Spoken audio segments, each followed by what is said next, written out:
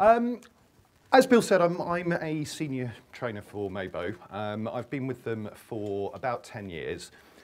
I want you to remember that figure, by the way, about 10 years, because in about five minutes' time, that's going to become quite important. Um, and as Bill kind of alluded to there, I'm also diagnosed autistic. And I want to start this talk with a question. But before I ask the question, um, I'm going to tell you a really quick story. And this happened to me roughly 18 months ago. Um, I was having a boys' night in. Uh, well, I say there were, it was boys' night in, there were only two of us. Uh, us autistics aren't great at crowds. Um, and we were watching a film. Um, and I was, I was talking to Tony France last night, and I'd love to claim that it was like the Temple Grandin biopic or some other autistic pioneer, but it wasn't. Um, and we were watching the film, and after a while, my friend said to me, Dave, are you aware of what you're doing? And for about the last 15 minutes, I had been sat there quietly rocking backwards and forwards. And I do it in a very, very, very, very spe uh, specific position. And this is what's known in the autistic uh, community as stimming.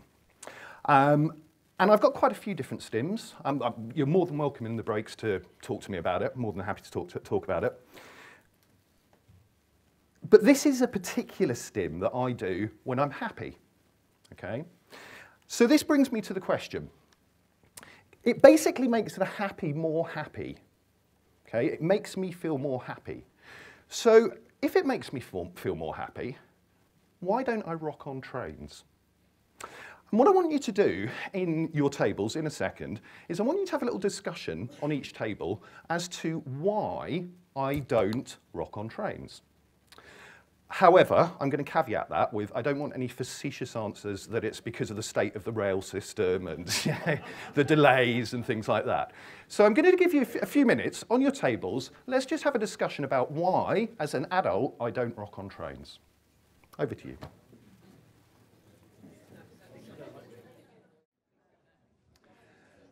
Okay, folks. So I wonder if I can draw you back in. Um, and I wonder if, uh, if there are any, any tables who would like to kind of make some suggestions as to why uh, I don't rock on trains. Um, I'm going to have to run around with the microphone again, so got some answers over here.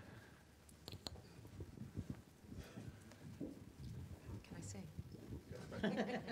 um, so we were having a discussion how the train is already giving that sensation of mm. movement. Okay. So it could then mean that you don't wouldn't need to rock because the train's rocking. Interesting. I'm not going to answer it yet. Any other ideas? Matt? Maybe a train's just not a happy place for you, Dave. yeah, possibly. Still not the reason. Uh, hi Dave. Uh, we discussed the awareness around it. You're at home, happy, comfortable with your friend who knows about your uh, particular condition. Okay. On a train, very aware that starting to rock back and forward in front of members of the public who don't know you, all of a sudden judgments start to be made, come out, make ah. you feel ah. uncomfortable. Yeah, that's interesting. There's, there was one more. I'm going to take one more here. I said maybe you're just happy, but not more happy. interesting. It's actually more to do with that, if, if I'm honest, and it's kind of more to do with the type of autism that I have. Um, I think the reality is that in 2015, diagnostic criteria changed for autism. So gone are things like Asperger's. Um, what remains is uh, um, ASD, so autism spectrum disorder, level one, level two, level three. And what I have is uh, ASD level one. And by the definitions of that, that means that I can live independently with uh, little or minimal support. Um, I can uh, care for myself, I can cook, I can wash myself. Um, what else? It's, but what people don't understand is that there are actually still a huge number of things that I really, really, really struggle with on a daily basis. And a lot of these things are sensory based are based on how I experience the world. So, for example, um, longitudinal time to me means nothing. I don't get it. Okay, everything. If you've ever been um, on a course, um, one of my courses, everything in my life happened either five or ten years ago. Okay, when did I join Maybo? Could have been any time. No idea, actually. And in fact, I was doing a course several years ago, and somebody said to me, Dave, you did an awful lot of stuff five years ago. was that just a really busy year for you? so that sort of thing confuses me. Money. Don't get money at all. Money is a complete mystery to me. I will regularly get myself into all sorts of financial difficulties, not because I don't want to pay bills, but because I've forgotten, I've got distracted, I'm off thinking about something else. I also have um, major executive functioning problems, and that's something I'm going to come back to and talk about a little, a little bit later. And I think one of the problems is actually, I'm not autistic enough. And it is about that perception. You know, as a grown adult on the commuter train, if I sit there suddenly rock and start rocking, what is the public's perception of that? Now, actually, as an autistic person, it would be brilliant because it would always mean that no one sits next to me. but it is about that perception. And it's one of the reasons, in fact, why the type of autism I have is often referred to as the hidden disability.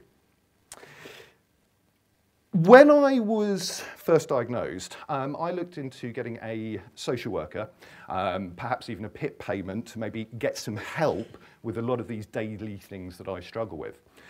And what I was told, uh, well, first of all, the locality that I lived in then, um, when I got in touch with them about uh, getting a social worker, turned out that particular locality, which is a very big locality, didn't have a single autism social worker. And all I, they could offer me was an adult mental health social worker who admitted that she knew nothing about autism. Not a hell of a lot of help. Speaking to lots of other autistic people, um, and actually that social worker, they also expressed to me the likelihood of you getting a PIP payment, zero. No chance. And I think that's probably one of the big problems. I'm just not autistic enough. And of, when Bill asked me to do this talk, one of the other things that I wanted to link it to was neuro, neurodiversity and thinking about it from a training perspective. Part of the problem, I think, is the public's perception of what that autistic spectrum actually looks like. And I can't constantly come across comments from neurotypical people. The classic one is, we're all a bit autistic, aren't we? No, you're not. I was born autistic and I will die autistic. It's not something that you can kind of dip in and out of. And realistically, but actually on a, on a slightly lighter note, there are some really interesting theories out there that are saying that actually we're, we are human 2.0. So effectively, we're X-Men. Now, I've spent most of my adult life working in adult social care.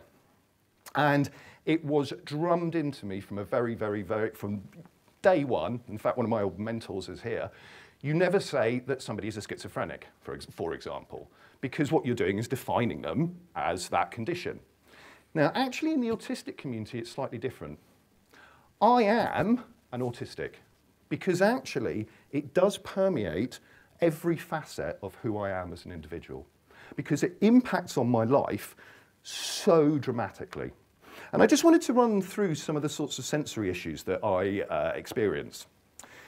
So sensory processing issues around sound, light, um, touch. Um, so for example, if you all ask me questions at the same time, because of my auditory filtering problems, I can't filter out those, those voices. So all I actually hear is uh, just a wall of sound. And I think often for neurotypical people, that's quite difficult to understand. And I came across a really interesting um, cartoon, which I think just kind of sums it up. I'll just give you a second to read that.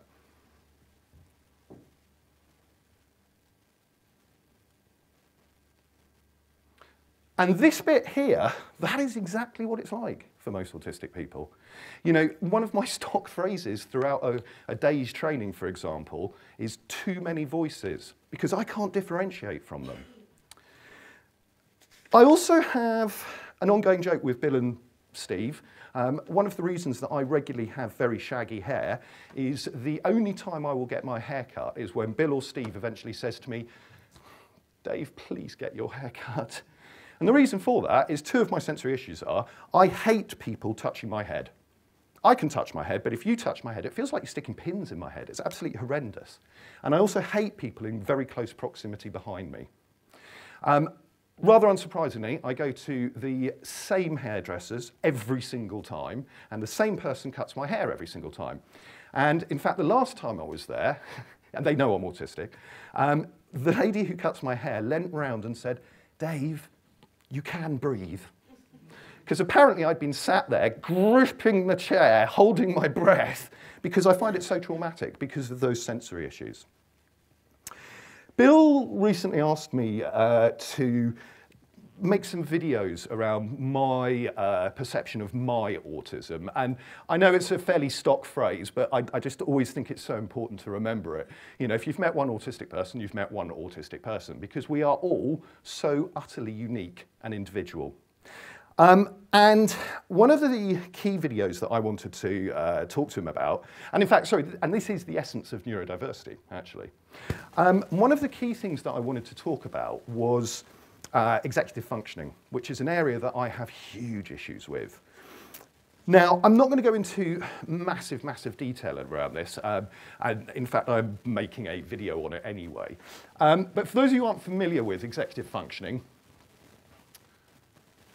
I haven't seen that slide rotate. That's quite cool. So it falls into, and broadly speaking, and it kind of varies depending on where you go and which psychologist you speak to. Um, broadly speaking, it breaks down into um, eight categories.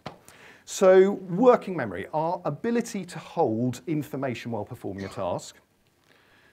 Flexible thinking, great one for autistics this, uh, because we tend to have very rigid mindsets. So it's our ability to initiate, for example, a plan B, okay? And, uh, and in fact, actually, if you speak to Bill about this, when Maybo uh, did the first piece of work around the presentations that you now use, who was the last person in the company to adopt that? Because it was change, and it, was, it required me to be quite flexible in my thinking, and I fought against it for a long time. I now would not be without it, I have to say. Technically, I have to say that. Emotional control kind of does what it says on the tin. Inhibitory control, so our ability to kind of think before we act. Again, this is very often a very big problem for a lot of autistic people. Um, you, it is very common with uh, functioning adult autistics that we have a very, very small group of friends. And a lot of the time, that is due to our inhibitory control. We say completely the wrong things. And those relationships tend to break down. Yeah?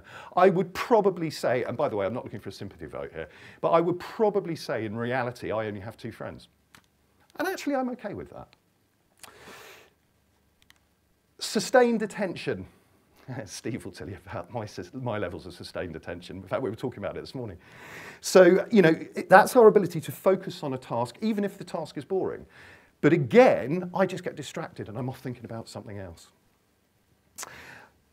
Task initiation, so how we actually build that roadmap for that task and get going on it. And planning and organisation. Um, and I have to say, if you want to get an idea of my deficits of planning and, uh, and organisation, um, speak to Nicola or Lisa in the office. They will tell you my organisational skills are zero. And finally, self-monitoring. So getting that bird's eye picture of our progress and just seeing how we're moving forward. Now, the problem with executive functioning is it, it, it, it, it impacts on every aspect of daily living, constantly. And I was going to talk through this, but I actually want you to have a think about this. We're, for a lot of autistic people, and I include myself in this, if you ask us open-ended questions, we really struggle with them. And the example I was going to use is if you say to me, Dave, clean the house, I'm, kind of lost, actually. And I just want you to have a little think, just a quick two-minute discussion, thinking about these executive functioning areas how many of them impact on a task like cleaning the house? So I'm just going to give you two minutes in your groups, just to, on these tables, just have a little discussion about that and see how many of these you think impact on a task like cleaning your house.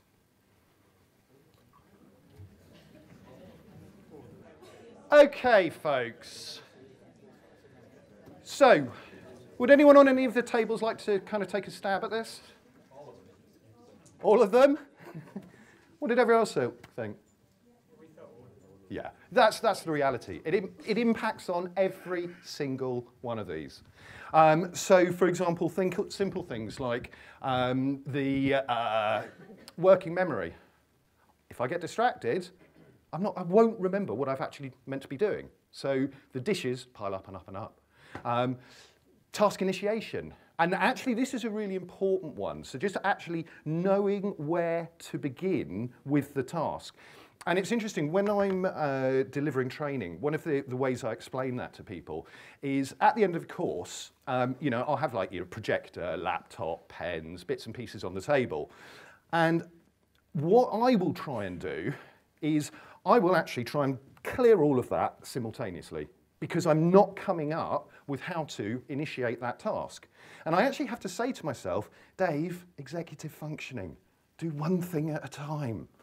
For you, that's an automatic process, whereas for somebody like me, it's actually really difficult. And it's often seen as procrastination. Um, in fact, just ask my ex wife that. Um, and it's not at all. It can actually be incredibly overwhelming. And that can actually cause us major anxiety, which is something, again, I'm going to talk about. So, what is this spectrum that's always referred to? Um, and I think one of the most important concepts to understand is that a lot of the time what, what people are referring to is about somebody's functionality. And in fact, in the autistic community, there's a huge movement out there of people who really are very anti these functional labels like high and low functioning and are really fighting against them. I may appear functioning, but perhaps what I am better at than a lot of my fellow uh, autistics is masking it. I am better at fitting into a neurotypical world. Because you have to remember, th this world is not designed for us autistic people, it's designed for you, neurotypical people. And actually, as a human being, I still want to fit in. You know, it's, I want to be part of society. And I think this links to the public's um, perception of that linear model for uh, the autism spectrum. But I think if we professionals don't dispel, um, you know, dispel this myth of a linear model, then what happens is we end up with this. Oh, by the way, sorry, I just wanted to point out have any of you come across the website The Aspergian? For those who work in this field, it's a fabulous resource, really, really interesting. Um, and there's a great article that's, that's, flying around the autistic community. It was written uh, beginning of this year by uh, C.L. Lynch. It's a spectrum doesn't mean what you think. It's a brilliant article. And I've got to be honest, I'm stealing directly for this. What happens if we, if we maintain that uh, linear model is we get into a situation where autism looks a little bit like this. So a little quirky, definitely autistic, or tragic autistic. Now, I'm not a little quirky or a tragic autistic, although I've got to be honest with you, Steve Hunt will often refer to me as just tragic. and I think this is the general population's perception, and it's, and it's a real problem. A major part of most autistic people's life experience is very heightened levels of anxiety.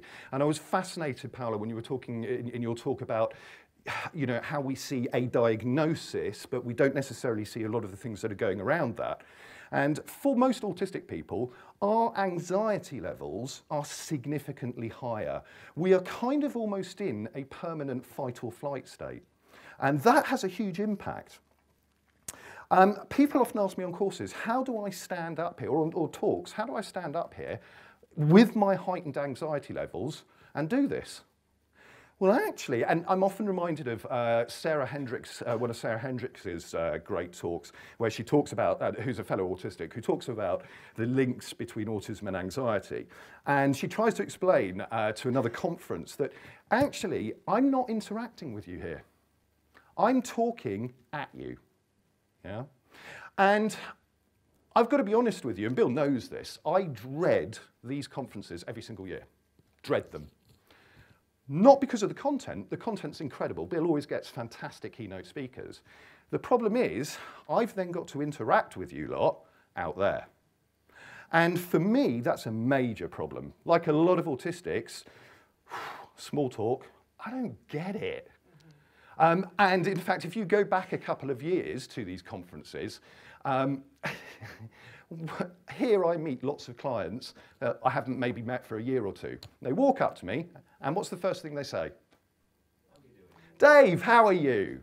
That is the worst question you can ask an autistic. A couple of years ago, when I was um, splitting up, by the way, I talk about my wife a lot. We're still very good friends.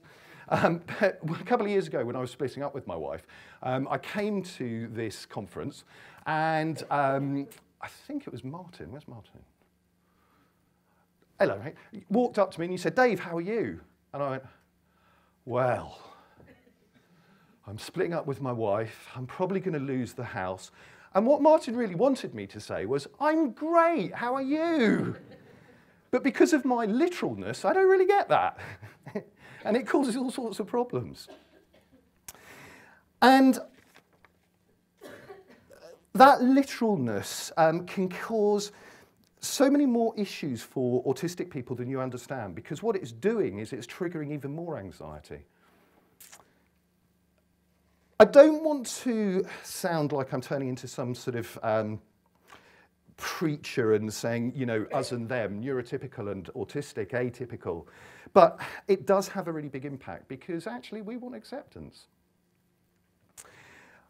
The point I'm trying to make is neurodiversity only really works if people don't perceive our behaviours as weird. Um, I recently was moving house. Now, for most people, moving house is a really traumatic experience. For an autistic person, concept of change, ah, and also my house is my safe space. When I have finished a day at work and I get home and close the door, I am closing the door on the neurotypical world and I can go, oh, my space. So moving house for an autistic person is hugely traumatic. And it was because it was so traumatic and causing me so much anxiety, my behaviours were becoming a lot more pronounced. And my brother, bless him, um, had to, he didn't tell me until afterwards, but had to take the removal men outside in private and explain to them, look, my brother's autistic. He's probably going to behave in a very weird way, um, just so that you're aware. Now, I was actually quite grateful for, to him for doing that. But the point here is, why should I have to change or modify my behaviours when I'm in the neurotypical world? Why can't I rock on a train? I know that I'm hopefully in a room full of people who embrace neurodiversity, but the problem is I constantly come along frontline staff who work in the sector who really struggle with this idea. I was delivering a course about six months ago up north and I was doing a little mini autism uh, masterclass. And a learning disability healthcare assistant, phenomenally experienced, um, 25 years of experience, lovely, lovely guy, asked me a really fascinating question. And this kind of sums up to a certain extent what I'm talking about. Question he asked me was, if you could take the blue pill, would you? Now, for those of you that aren't sure about that reference, it's a reference to The Matrix. Um, but what he was really asking me was, if I could take a pill to cure my autism, would I? And I found that actually initially quite a confusing question. Because the problem is, much like I said earlier, I was born autistic, I'm going to die autistic. I do not understand what it means to have a neurotypical existence. So why would I want to change? And I'm constantly amused when I meet people for the first time and I say to them, you know, I, I, tell them I'm autistic, and their first instant reaction is, oh, I'm sorry. Why? Remember, we're human 2.0. And in fact, there's a really big movement in America um, that has kind of hijacked um, applied behavior analysis and turned it into almost Pavlovian operant conditioning um, to train autistics to do things like have quiet hands. This really irritates us. And what they're talking about there is a very common autistic stim is hand flapping.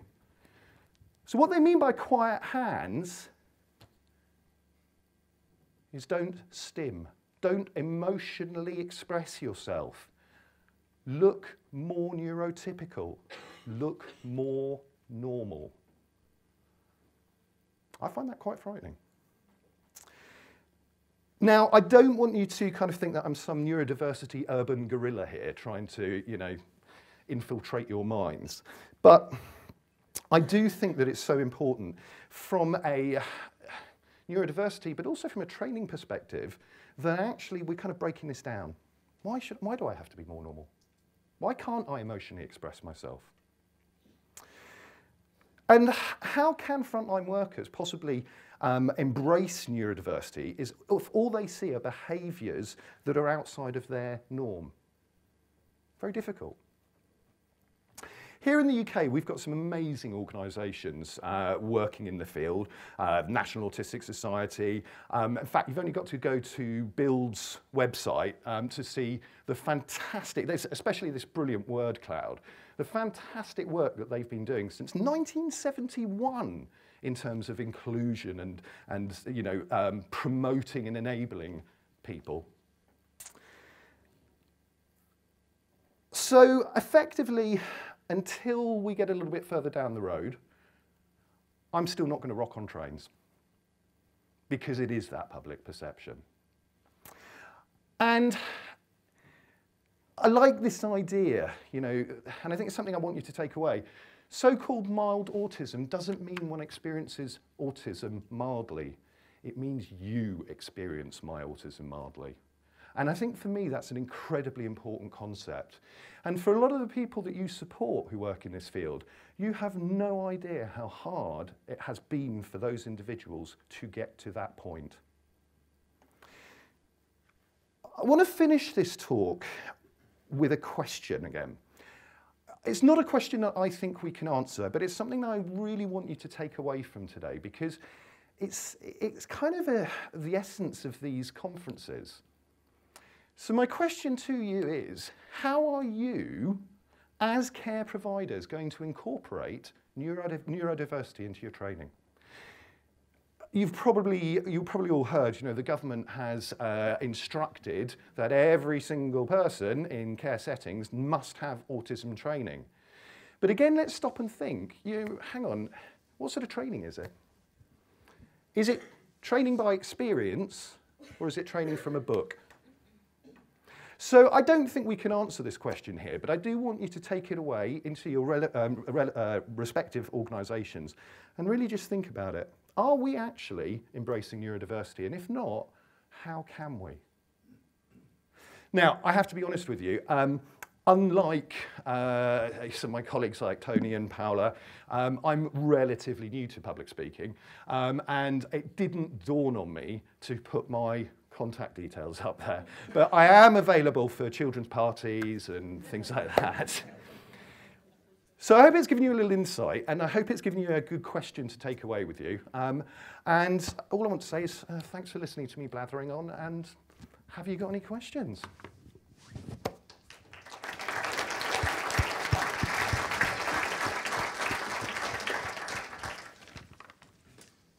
Yep. All right, Dave. just looking at you, and obviously I've worked with you in the past, and I, I had no idea we had this conversation, you know, several months back. Um, on a personal level, something that people occasionally talked about in adulthood, you know, where they, you, you said something to me, although you didn't get your diagnosis till later on, you'd always known. And that's a conversation I've had with other people. And I'm, I'm sure it's a personal answer, but I'd like to have your sort of view on this. Obviously, you know, a lot of people will say, you know, when you're younger, can, helping support in place, school, education. I know you're an academic achiever. What are the advantages of getting a diagnosis as an adult? Is it sanative? Do you think there are pros and cons? What What would you say to someone who's saying, look, you know, I'm 35 and I think, is it, what's the pros and cons of getting a diagnosis? Do you think it's a positive? How's it helped you getting that diagnosis? That is a really, really interesting question. Um, I think The reality is, when I decided to get an official diagnosis, um, I think I was roughly about 42. Um, I thought I knew who I was. I thought at, at, at that age, I've built up a picture of who I am as an individual. Now, interestingly, when you get that diagnosis, you actually go through a bit of a, a bereavement process because suddenly you have to rethink who you are as an individual. And that has a really profound impact. I am still incredibly glad I did get the diagnosis um, because I, I constantly have these eureka moments where I look back over my life and I suddenly go, that explains that bit. And that's really powerful and powerful, and it's very enabling actually. Um, so for me, and, and uh, uh, my experience of talking to other autistic uh, people who are diagnosed late in life on things like Reddit, which is I, I, a really good uh, resource, you've got to be relatively uh, able to, uh, to filter stuff out, but it's, it's a pretty good resource. And speaking to other fellow autistics who are diagnosed late, um, it seems to be a very common theme that you do go through this bereavement process, but the kind of end result and being able to have all of these eureka moments makes it totally worthwhile. So, any other questions, folks? Can I just make a really quick point? I know I said that um, that small talk bit I really struggle with. Please do feel free in the breaks, though, to come and talk to me. Thank you again, folks. I'm going to hand back to Bill.